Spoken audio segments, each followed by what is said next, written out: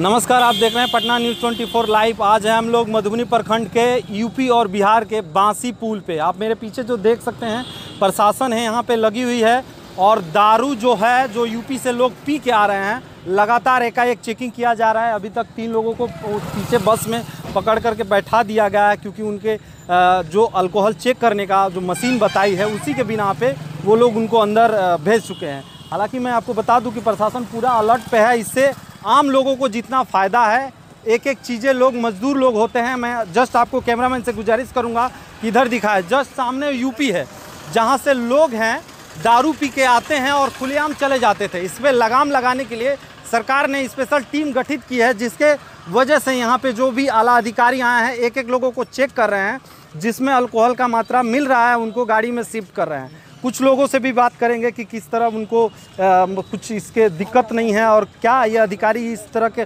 Authorise हैं उनकी मशीनें काम करती हैं किस तरह काम करती हैं सारी जानकारी हम आपको लगा इसी अपडेट में देंगे। जब पुलिस वाले भाई साहब से हम बात करना चाहे कि सर मैं कुछ बात करना चाहता हूँ तो उन्होंने मुझे साफ़ मना कर दिया कि मैं ऑथोराइज नहीं हूँ।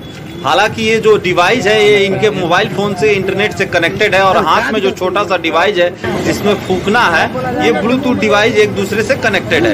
इसमें फूकने पे सौ प्रतिशत है अगर कम भी रहा तो भी अल्कोहल का मात्रा साबित होता है और उन्हें वहाँ खड़ी हुई बस है उनमें बिठा दिया जाता है। और इस भाई साहब को इसका बिल्कुल पता नहीं है।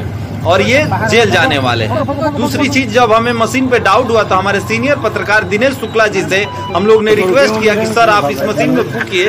हालाँकि वो तैयार नहीं हो रहे थे, जबकि वो तैयार हो चुके और फूकने के लिए रेडी हो गए। अभी भी इस मशीन पे हमें डाउट बना रहा और मशीन में जब इन्होंने फूका तो पूरा रिज़ल्ट मुझे, ये पुलिस वाले भाई साहब मुझे नहीं दिखाए। हालाँकि अभी भी मशीन में मुझे डाउट बना रहा, जबकि दूसरे एक इंसान जो राहगीर थे इनसे रिक्वेस्ट किया गया, हालाँकि ये फूक नहीं रहे थे कि उन्हें डर था, जबकि इनको, इन्होंने अल्कोहल नहीं लिया था। यहाँ इस मशीन की सही और गलत साबित होनी ही होनी ही थी।